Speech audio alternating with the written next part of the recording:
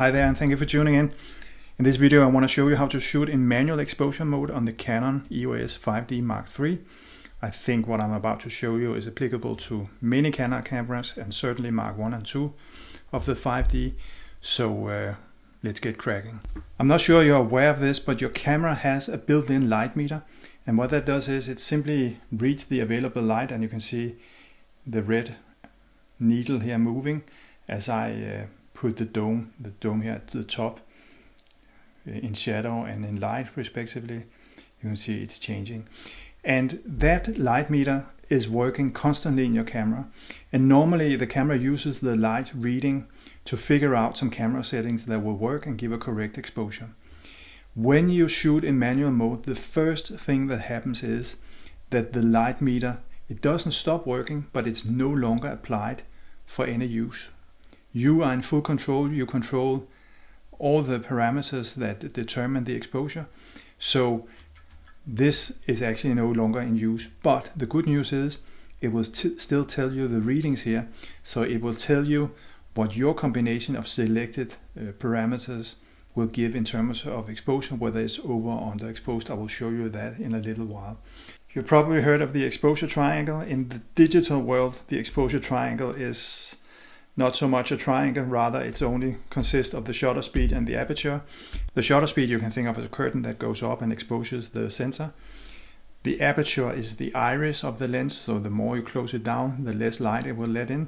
The more you open it up, the opposite.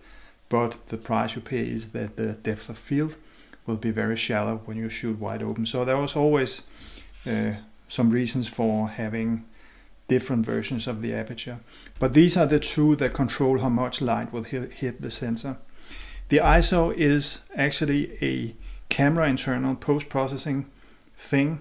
So once it has read the available light via the sensor, the camera will apply ISO, which is a sort of a gain or factor.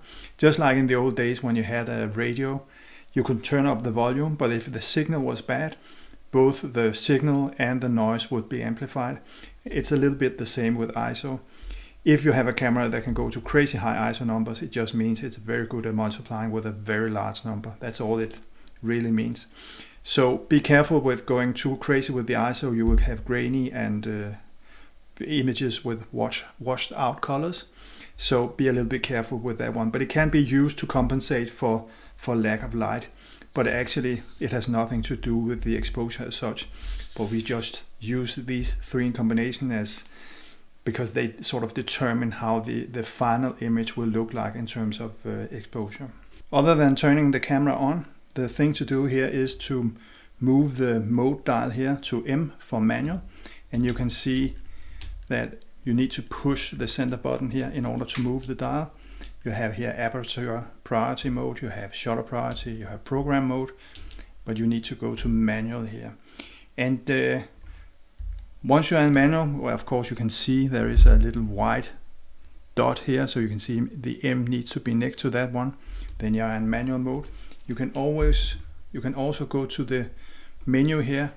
You can see now top left it says M for manual. If I put it in a different mode, then it's aperture priority and now it's shutter priority. You can see that top left. If you're in doubt which mode you're in, you can always consult the top left reading here. So once in manual mode, you need to control first and foremost the shutter speed. And you can see I simply use the, the dial here on the top of the camera and that controls the shutter speed. The reading is so that this is a fraction, but again, if you want to see that spelled out, you can go here and it also tells you here at the bottom this is the shutter speed.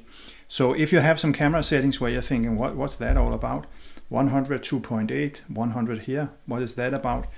You can go to the quick menu and you can see it will tell you the 100th is the shutter speed, the aperture, that's 2.8, and the ISO speed, that's 100. So that's a good way to get familiar if you're not too used to, to reading the, the top LCD here. These values you can also find in the bottom of the viewfinder, but it's a little bit difficult for me to show you this uh, here in the video. So that was the shutter speed.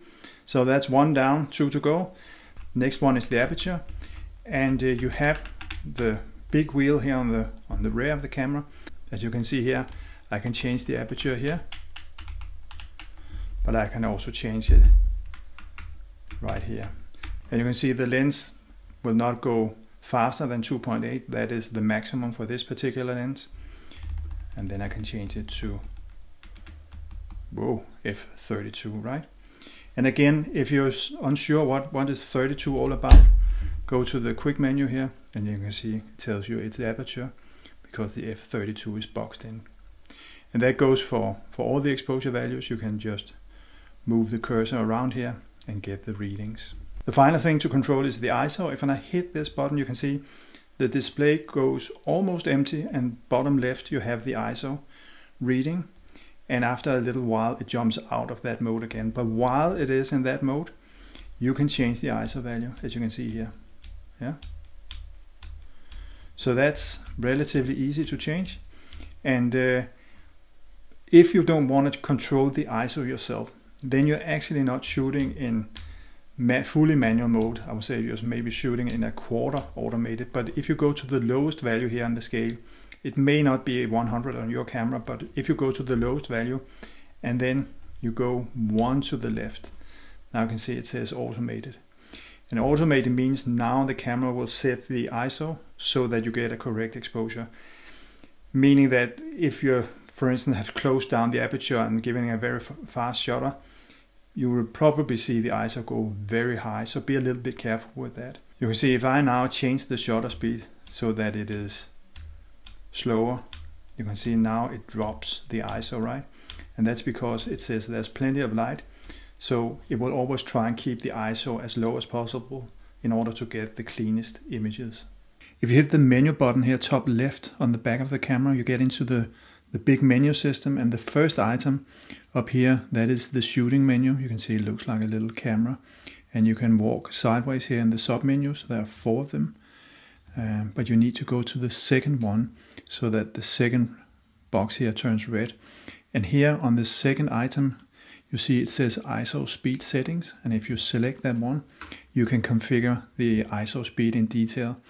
And the first one is the one that you have already seen that is here where you select the ISO speed manually. Also, you can choose the auto. So let's go for manual here. The next one is the ISO speed range. That is the range you can choose when you set it manually. So you can actually limit yourself and say, I don't want to be able to choose manually beyond, say, 3200. And then that is it. If you can't remember what this is about, you can actually just press the information button and it will tell you exactly what this menu item is all about. The one that I find the most interesting here is the auto ISO range, where you can limit the range which it automatically selects. And that way you can avoid that it suddenly goes crazy and maybe goes to something like, what do I know, 25,000 or, or something crazy like that. So I normally limit mine to say 6,400. Then I know I will come home with fairly usable images. If I set the ISO back to manual, just do that like this, say 100, you can see that as I do that and I half press the shutter, when I change the values, you can see this little dot moving up and down on the scale here. And that is not exposure compensation.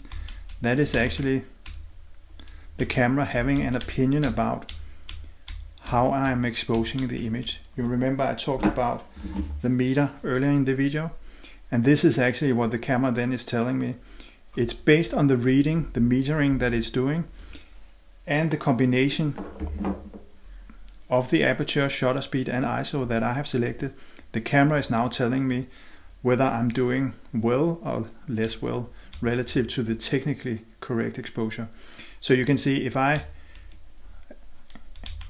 if I increase the shutter time to say in this case 13 seconds you can see now it thinks that I'm I'm overexposing with three stops. If I drop that to two seconds then it finds that I have the correct exposure. This of course is with an, an aperture of, of 32 which is really close down. So maybe I want to change that a bit like this and you can see now the arrow indicates that because I'm going even more than three stops of overexposure.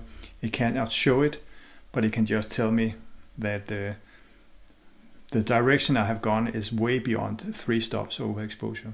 So if I take down, let's see, if I take down the the the shutter time, you can see then it drops to something meaningful.